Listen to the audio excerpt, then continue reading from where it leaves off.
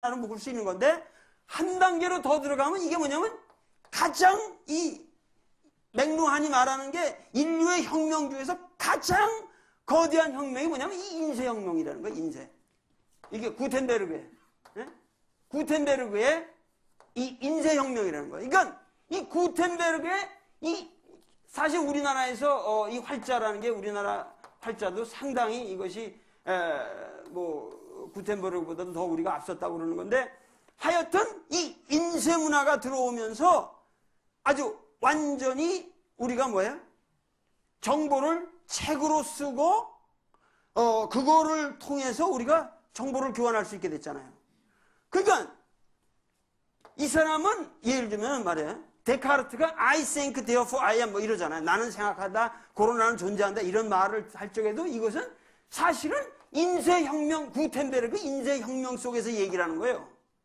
철학자들은 이런 얘기야. 뭐냐면은 혼자 앉아서 혼자 앉아서 책을 혼자 보고 깨닫고 생각할 수 있게 됐다는 얘기예요. 과거에는 그게 불가능하잖아요. 그러니까 인쇄혁명이 들어오고 나서 비로소 개인이라는 말이 나온다는 거예요. 인쇄혁명 이전에는 인류사에 개인이라는 말이 없어요. 불가능해요, 그거는. 아, 개인이라는 게. 그러니까 인쇄혁명이 나오고서 비로소 individualism, 개인주의가 가능하고 여기서부터 뭐냐면은 소위 민주주의니 자본주의니 이런 것들이 다 이 구텐베르그 혁명의 구텐베르그 galaxy 속에 들어있다는 거야, 이 사람은. 아. 그런데 뭐냐면은 20세기로 들어오면서 뭐가 여기서 이 미디어가 뭘로 변했냐면 이 인쇄혁명이 뭐냐면 이 전기, 전기 정보 시대로 들어가, 전기, 전, 이 전자기장을 동시에 전기가 들어오잖아요? 그러면 이거는 전혀 또 다른, 그러면 이 전기 문화라는 것은 지금 테레비의 이, 이, 이 테레비 같은 미디어는 오히려 이 정보의 전달 방식이 복수 감각적으로 간다는 거예요. 이 시각 중심적인 에, 것에서. 그러니까 요새 애들은 책만 보는데 만족 못 하잖아요. 노래를 부르면 노래만 부르면 만족 못 하지. 춤하고 뭐 다 해야지. 에? 그러니까 요새 애들은 뭐냐면 복수 감각형으로 가고 오히려 문화도 뭐냐면 옛날에 이 tribal 여긴 이게 하나의 그 부족 부족 문화 아니에요. 그래서 여기서 retribal re 아, tribalization이라서 완전히 다시 옛날에 이런 종족 문화적인 대로 지금 사회가 점점 분화돼 간다 이 말이에요. 에? 분화돼 가고 이렇게 됨으로써 이게 이것이 미디어의 바로 이러한 미디어의 변화가 인간의 메시지를 결정했다는 거예요. 이 사람 주장은 이게 사실은 굉장히 설득력 있는 얘기죠. 어, 이런 얘기는 그러니까 우리가 말하는 근세 우리가 모든 혁명이라고 하는 것은 개인주의고 민주주의고 이런 모든 인권의 문제고 뭐 자유의 문제고 이런 모든 것이 사실은 이 인쇄혁명 구조에서 나온 거기 때문에 앞으로 이 전기 문화 에, 여기서 전개될 새로운 문화는 어떠한 방식으로 인간이 변할지 모른다는 거예요 지금. 어. 그러니까 이러한 새로운 시대에 있어서 오늘 우리 도울의 노노 이야기라고 하는 것은 이러한 완전히 새로운 시대에 있어서 복수 감각형의 인간들에게 던져지는 새로운 메시지입니다. 그리고 내가 말하고 싶은 거는 이러한 것이 에, 앞으로 뭐냐면은 에, 지식인이라고 하는 것이 이제는 뭐냐면 집에 앉아서 책 쓰고 물론 저도 앞으로 책 쓰고 공부 계속 게을르지 않게 합니다. 그러나 책 쓰고 혼자 이렇게 그러니까 책이라고 하는 것은 일방적인 커뮤니케이션이에요. 사실은 일방적. 이 텔레비는 그게 불가능해요. 그러니까 일방적인 커뮤니케이션하고 그거를 또 딴 사람이 내가 혼자 독백하듯이 써놓은 거를 어떤 한 사람이 그걸 보고 또 혼자 깨닫는 이런 전달 방식에 의존하는 정보 체계만을 학자의 사명으로 볼 수는 없다는 얘기야. 이제는 21세기 오면은 학자들이 이 텔레비로 나와야 돼요. 에?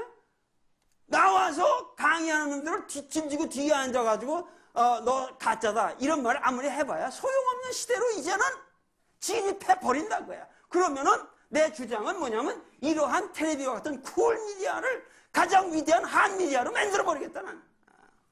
그러고 선포하고 나온 거야.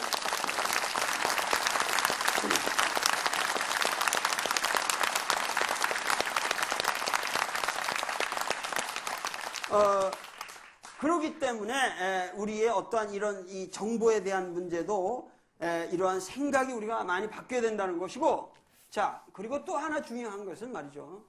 예, 이 사람은 이제 이런 말까지 해요. 뭐냐면은 인류 문명이라고 하는 것은 이제 미디어라고 하는 것은 사실 이 사람 보면 미디어라고 하는 것은 understand 미디어의 그 부제가 뭐라면 extension of man이라는 말을 썼거든요. 인간의 몸의 연장이라고 그랬어요. 사실은 생각해 보세요. 미디어라는 게 모든 매체 아니에요. 그 비행기라는 건 뭐야? 우리가 열차다. 그 다리가 옛날에 걸어 댕겼던 건데 그거를 수송이라는 걸 갖다가 기차로 하고 비행기로 하고 되는 거 아닙니까? 손으로 했던 걸 무슨 기중기가 하고 뭐가 하고 눈으로 봤던 거를 이런 카메라나 에, 뭐가 하고 그러니까 인류 문명의 역사라고 하는 것은 인간의 몸의 연장의 역사라는 거예요. 그죠? 사실은 우리가 생각한 미디어를 다 생각해봐요. 내가 말하는 것을 지금 과거에는 이렇게 수천만 명이 한꺼번에 한 사람의 강의를 듣는다는 게 이게 어떻게 가능합니까? 근데 이것이 지금 내 말을 통해서 이런 미디어를, 이 미디어의 혁명을 통해서 가능해지고 있잖아요. 말틴 루터 킹이 아무리 위대한 연설을 해봤댔자, 아, 그, 저, 와싱턴 square 앞에서 뭐, 백만 명 모였을까 말까, 그거 새 발의 피여. 지금, 우리가 지금 하고 있는 건 훨씬 더 위대한 집회란 말이에요, 지금 이게. 그러니까, 내가 긴장 안 할 수 있어요, 이게. 그러니까, 이러한, 어, extension of man, 그러니까 어떤 인간의 몸이 계속 확장되어 온 역사가 우리가 말하는 미디어의 세계라는 거예요. 미디어의 세계라는 거예요. 어. 그런데 이러한 미디어의 세계가 과거는 외부로 explosion, 바깥으로 말이죠. 이렇게 폭발해 나가던, 바깥으로 explode 해 나갔단 말이에요. 점점점 나의 몸이 바깥으로 폭발해 나가는데 지금은 말이죠. 지금 이 컴퓨터의 시대에는 뭐냐면은 오히려 implosion 안으로 안으로 폭발해 들어가는 거예요. 안으로. 뭐냐면 인간의 어떤 이 두뇌 신경 구조라든가 이런 것이 전 세계로 지금 뻗어나가는 거 아니에요. 그러니까 이것은 인간의 어떠한 extension of man, 인간의 어떤 지체의 확장 단계에서 거의 이건 final phase. 이제는 인간의 두뇌가 매체가 되는 거예요. 인간의 두뇌가. 그러니까 지금 우리는 이렇게 다른 시대에 살고 있다고요. 다른 시대에. 어? 새로운 시대에 살고 있다.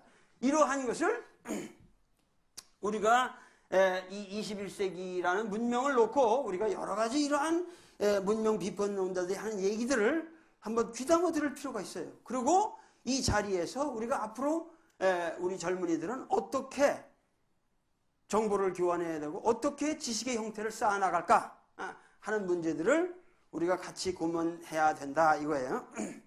어, 같이 한번 어, 읽어보겠습니다.